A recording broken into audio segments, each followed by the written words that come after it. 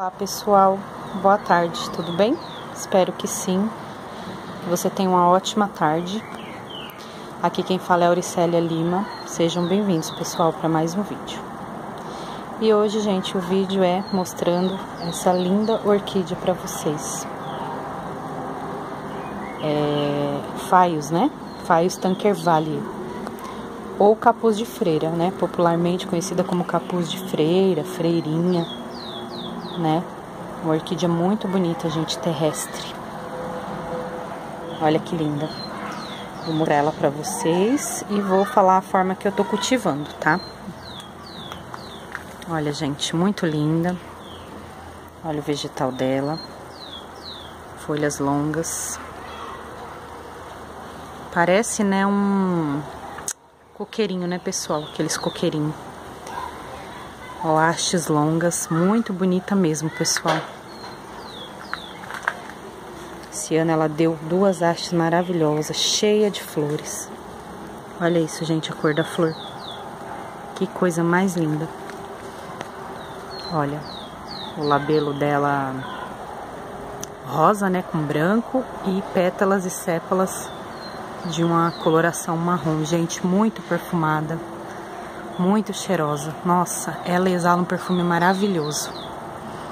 Né? Tem outras cores delas também, tem é, puxada para um tom amarelado, esverdeado, né? Mas é linda, gente, essa flor dessa orquídea, maravilhosa. Já é o quarto ano que ela floresce aqui comigo. O primeiro ano foi só uma haste com poucas flores, o segundo ano também outra.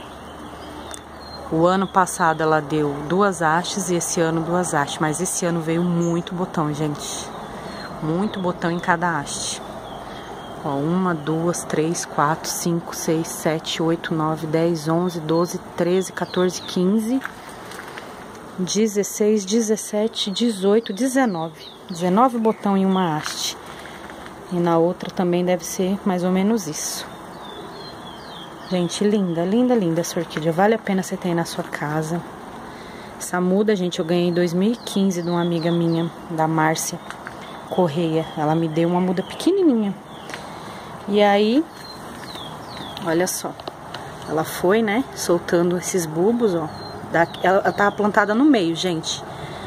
Né? Plantada bem aqui no meio e foi brotando, brotando e vindo aqui pro canto, ó brotando, brotando e vindo aqui pro canto, porque ó, as folhas dela caem também do bulbo com o tempo, tá vendo? Caduca.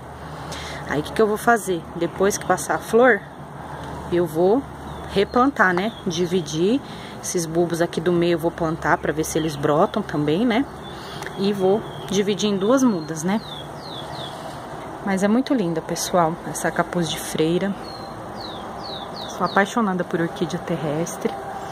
E aí como que eu cultivo, gente? Vaso de plástico, né? Boa drenagem no fundo e o meu substrato de sempre, que é o que eu uso em todas as minhas orquídeas terrestres, né?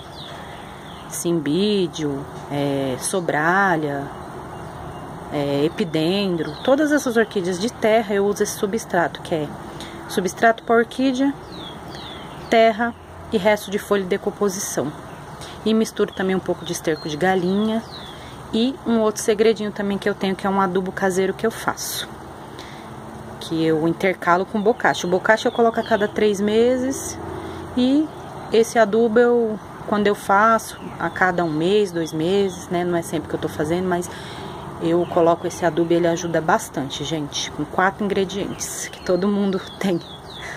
É muito bom esse adubo que eu faço. Qualquer dia eu vou fazer um vídeo passo a passo tá bom? Mostrando esse adubo, como é que eu faço e como eu utilizo nas minhas orquídeas terrestres.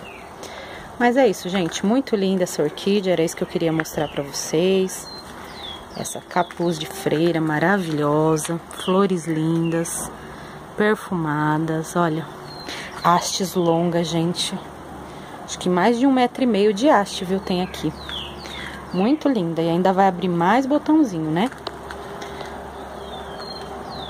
Olha que lindeza. Muito linda mesmo. Lindíssimo. Aqui já tá mais passadinha, né? Que foi as primeiras que abriu, ó. Mas é isso, gente. Ainda vai abrir muito botãozinho. E aí eu pego e faço um vídeo mostrando de novo pra vocês, né? Como que ela tá. Então é isso, gente, que eu queria deixar hoje pra vocês.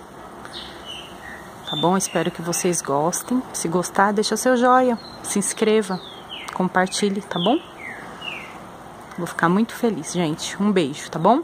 Até o próximo vídeo. Tchau!